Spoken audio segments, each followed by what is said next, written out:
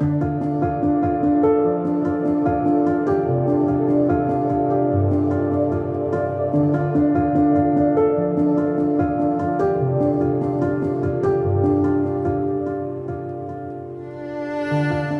think the main thing is just the uniqueness of the experience. I think the big attraction is that it's pretty hard these days to find something which is different and unique and yeah, and Macca definitely fits the bill.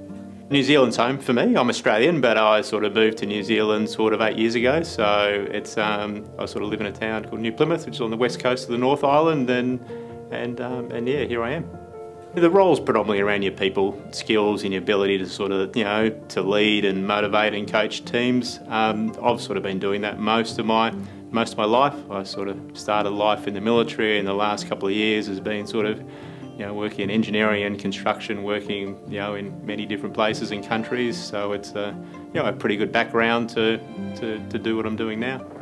The biggest thing to keep the community together is a sense of identity. You know, it's that sort of sense of identity and shared purpose and us sort of agreeing how we work and relate and sort of, you know, behave as a team and it's just, you know, it's making sure we have a, you know, a nice strong team culture that sort of, you know, we sort of build up in the good times and is, is there to help us when inevitably things get a bit rougher at times throughout the, throughout the year. So I was lucky enough to go you know, sort of March last year um, as a familiarisation trip. So I was involved in the resupply and got to meet the team down there and have a good look around the island, which was which was fantastic to help me prepare for, for this season.